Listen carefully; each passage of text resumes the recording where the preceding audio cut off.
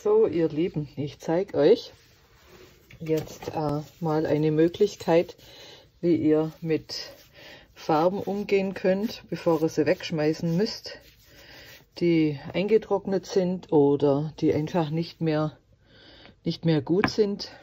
Ähm, bevor man sie jetzt wegschmeißen muss, wie man nochmal auf ganz schnelle Art und Weise was anstellen kann mit denen. Also das sind jetzt diese, diese äh, äh von Delusions, die Paint die habe ich nie benutzt, dann waren sie leicht eingetrocknet, dann habe ich sie nochmal aufgerührt und habe sie auch ähm, mit so einem, so einem Cappuccino Shaker habe ich die nochmal äh, gerührt, dass die wieder ein bisschen homogener werden. Das hat aber nicht viel geholfen, weil die einfach am Kippen sind.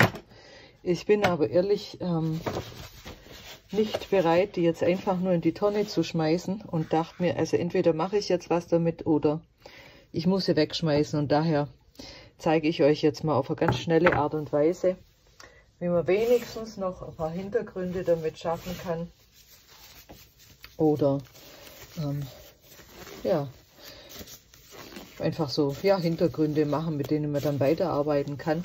Ich jetzt mit der Händearbeit ziehe ich Handschuhe an und versuche jetzt da mal auf ganz schnelle und einfache Weise was zu zeichnen. Also ich habe jetzt hier gerade die schwarz, das sind nur noch solche Brocken hier. Ja, die nehme ich jetzt einfach in die Hand und ähm, mache jetzt ein, zeichne jetzt mit diesem, mit diesem Brocken quasi ähm, ein Gesicht. Das muss auch überhaupt nicht jetzt, macht nichts, das bröselt, aber ist absolut okay. Das war mir schon klar, dass das bröselt.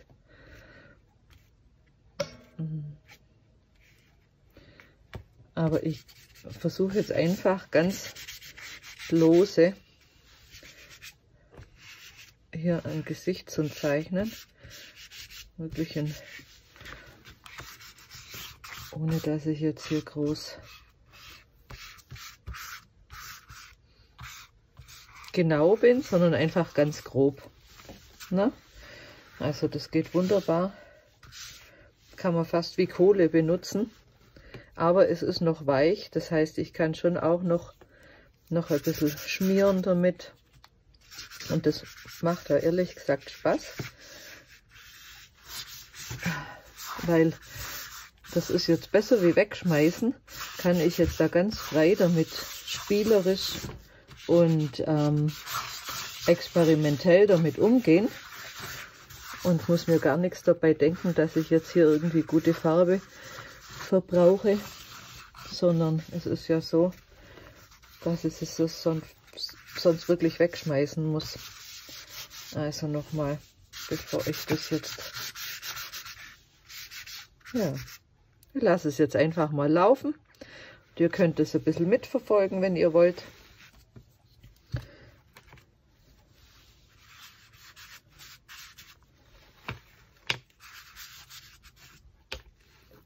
Ich fasse einfach gerade so in die Tiegel rein. Und das Blatt, das könnte jetzt wegen mir echt auch noch größer sein. Dann könnte ich mich jetzt da noch ein bisschen mehr austoben. Also da fühle ich mich jetzt fast ein bisschen beschränkt.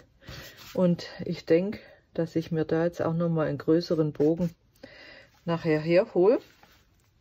Aber jetzt egal, jetzt ähm, ich möchte jetzt einfach hier Farbe großflächig benutzen. Jetzt einfach das, was ich hier habe.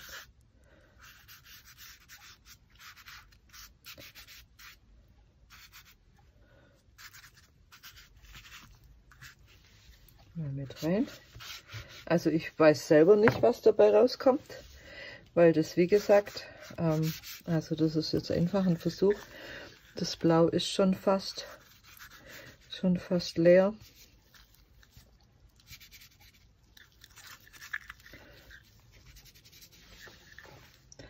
Also eine Farbe ist schon mal, ja.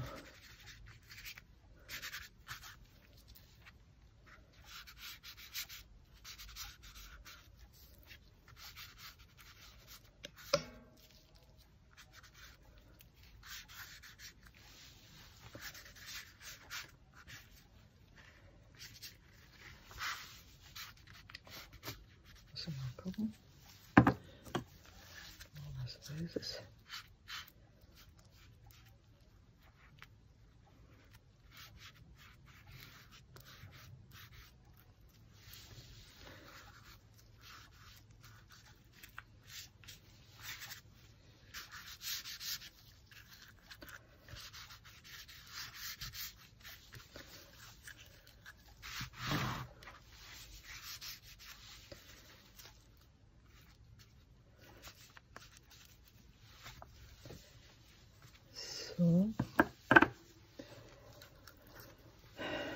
Hier nochmal was helleres.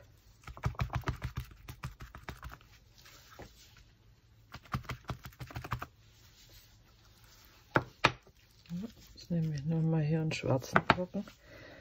Oh. Kann man jetzt auch noch mal hier.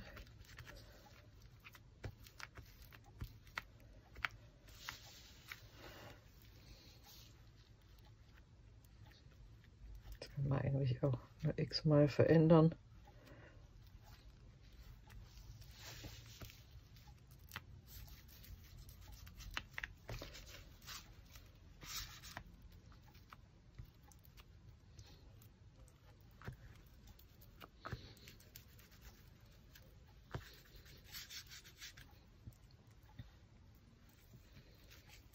macht total Spaß. Also das macht total Spaß, da so ganz wild einfach zu machen. Wenn dann die feineren Dinge, da gehe ich nachher noch mal mit dem Pinsel ran. Aber jetzt in der groben Anlage darf das jetzt ruhig so sein.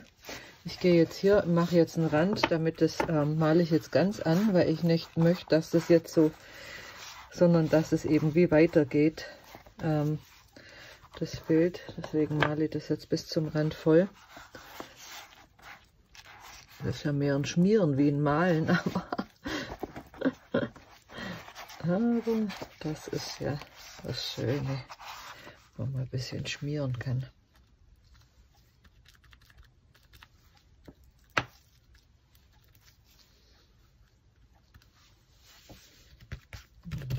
Hell verteilen hier.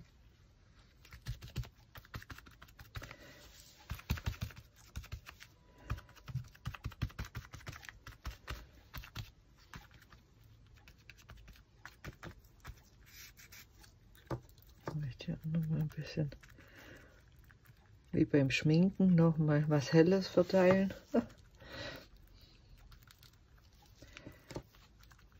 So.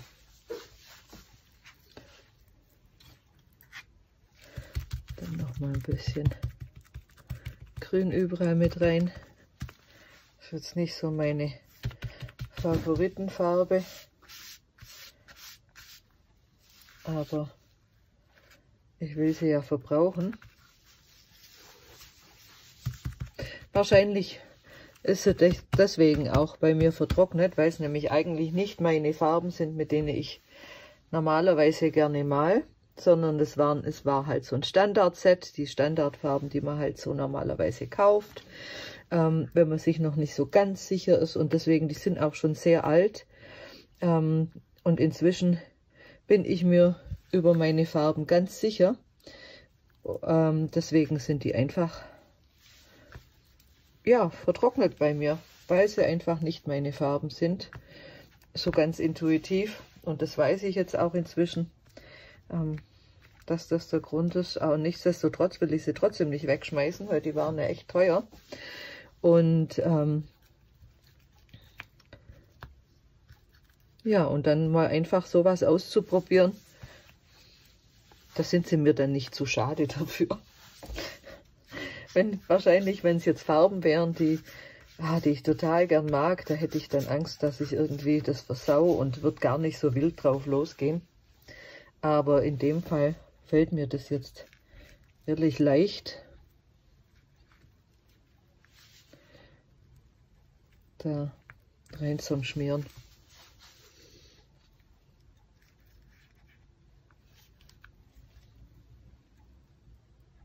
Also ich will jetzt auch gar nicht so tun, als ob das jetzt eine super ähm, Technik wäre, die ich jetzt hier aus, aus künstlerischen Gründen so mache sondern ähm, das einfach wirklich schlicht und ergreifend, weil ich die Farbe nicht wegschmeißen will und weil ich auf die Art und Weise für mich jetzt nochmal ähm, umgehen kann damit und was ausprobieren kann. Ich meine, natürlich ist es ein Versuch und natürlich ist es auch ähm, lehrreich und spannend, sowas mal auszuprobieren. Aber ja, ich will jetzt dann nicht so tun, als ob, wie gesagt, das jetzt eine super spannende Technik wäre, die ich jetzt hier kreiere aus künstlerischen Gründen. sondern ja, meine wachen Beweggründe sozusagen. Es macht echt Spaß. Ich lasse das jetzt mal, ich lege das jetzt mal auf die Seite, weil, oh, da habe ich sogar noch ein zweites Blatt drunter. Ich hätte auch einen Arbeitsplatz abdecken können, aber habe ich jetzt halt nicht gemacht. Genau. So, und jetzt, Entschuldigung, Blatt, gehe nochmal hier, verstreiche ich nochmal meine Farbe, die ich auf dem Handschuh habe. Sehr interessant, was da dabei rauskommen kann. Für eine Grasfläche Blümchen reinsetzen.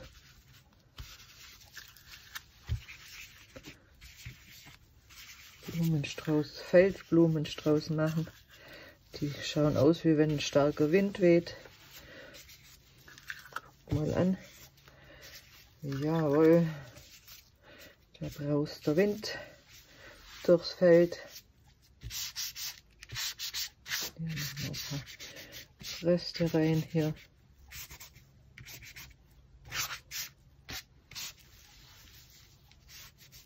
Ja, hier haben wir noch auch noch mal die schwarzen Bobbel mit reinsetzen. Hier und da noch. Einfach noch ein paar solche Elemente. Dann haben wir das Gelb auch schon bald aufgebraucht. Schwarz habe ich noch viel, aber mein Schwarz ist ja immer eine Basic, mit dem kann man immer viel anfangen noch. Blau und Grün sind noch so meine Unfarben, die ich hier habe, ähm, mit denen ich jetzt, von denen ich jetzt nicht so begeistert bin. Wie gesagt, aber ich nehme es jetzt einfach hier mal. Kann es natürlich auch noch mischen.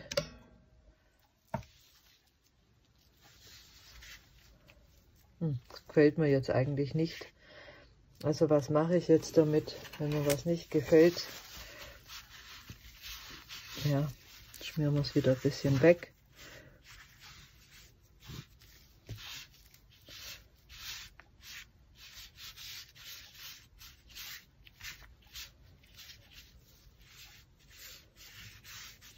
So. richtig richtig, richtig Fun macht das. Ehrlich sagen, also. Ist ja auch egal, wenn das noch mal drüber geht. Völlig wurscht. Kann auch durchaus sein, dass ich das noch mal, noch mal im trockenen Zustand dann in einzelne ähm, Karten schneide. Dann kann das ganz toll ausschauen. Das sind jetzt echt so Zufallsdinger. Ich lasse das jetzt echt mal ein bisschen mal mit. Also es wird schon jetzt ziemlich schmierig, das Ganze. Aber ich sage ja experimentell. Und jetzt schauen wir mal, ob wir da noch was anderes machen können. Komme ich bloß nicht mehr an diese. Äh, da ist eine Schablone, an die ich hinkomme, ohne dass ich jetzt irgendwas anfassen muss. Und probiere jetzt mal, wie das ausschaut, wenn ich da nochmal Farbe runternehme.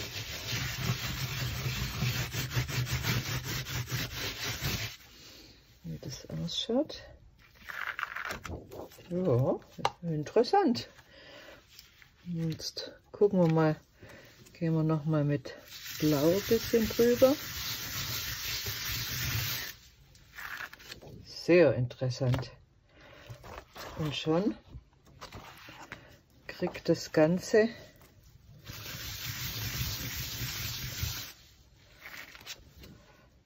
eine interessante Struktur, ähm, was auch wirklich toll ausschaut, wenn man da jetzt noch Stücke rausschneidet anschließend. Und jetzt nehme ich mir gerade das nochmal. Leg das mal auf die Seite und gehe da auch noch mal rein mit. Das Muster finde ich jetzt einfach klasse hier. Und mache hier auch noch mal einen, einen Abdruck von dem. Ja, also das werde ich nachher noch mal bearbeiten mit, mit, ähm, mit einem feineren Stift, so ein paar die Details rausholen, aber ich finde das jetzt schon, obwohl ich die Farben jetzt so nicht mag, aber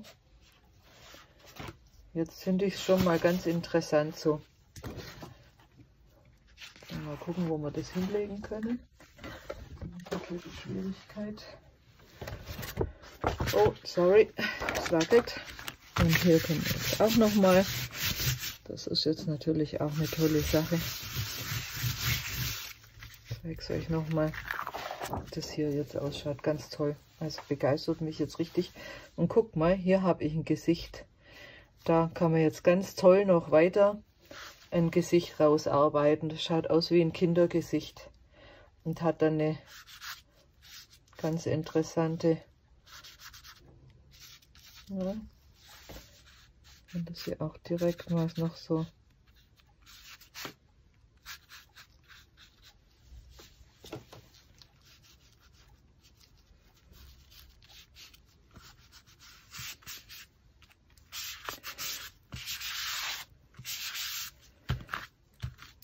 Schaut doch jetzt sehr interessant aus. Solche Zufallssachen. Also hier könnt ihr das erkennen. Hier die Nase, Mund, der große Kopf, ein bisschen Sturmhaare. Also das gibt ein tolles Gesicht in der Weiterbearbeitung.